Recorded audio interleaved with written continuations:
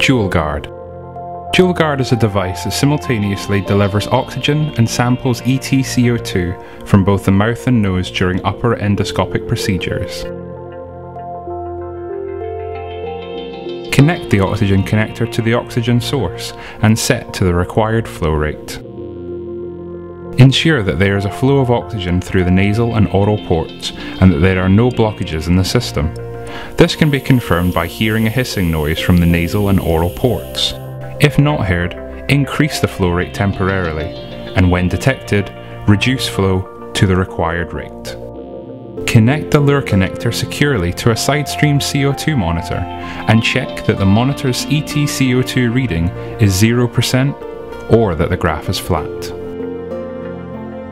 Ensure the oral sampling line is securely fitted into position in the bite block. To connect the oral sampling line to the three-way connector, insert and twist the spin luer lock until secure.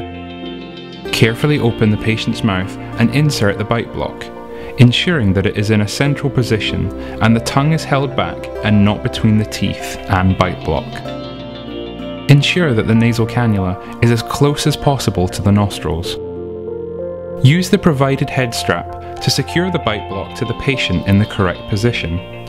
Place the strap around the patient's head and feed the ends through the slits in the wings of either side of the bite block. Pull these through and adjust until tight and secure with the Velcro fastener.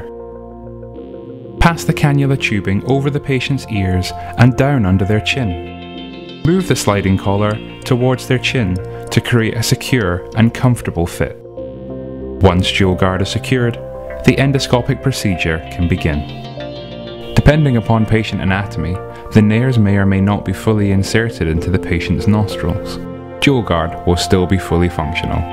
Post procedure. When the endoscopy procedure is completed, detach the orange luer from the three-way connector. Loosen the collar of the nasal cannula tubing, sliding it away from the patient's chin. Remove the head strap by unfastening the velcro ends and pulling them through the slits on the wings of the bite block.